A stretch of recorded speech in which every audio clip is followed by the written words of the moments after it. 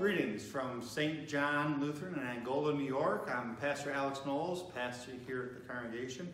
And I'd like to invite you to our service on Sunday, April 19th at 10:30 a.m. You can get to that service through Facebook on Facebook Live, or you can visit our website, stjohnangola.org.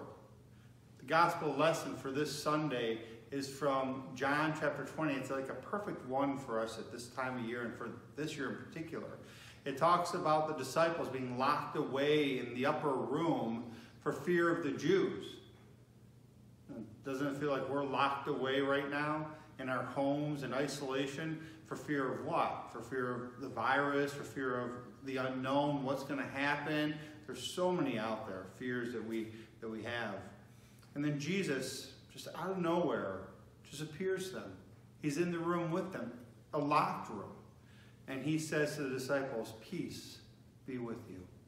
And that's going to be the message for this Sunday. And that's going to be peace be with you. We hear about God's peace, his love, and his grace for each one of us. I hope you can join us on Sunday at 1030. And if you need anything uh, at all throughout this time, uh, give the church a call at uh, 549 2144. Again, 549 2144. And uh, we hope to see you Sunday. Have a great day.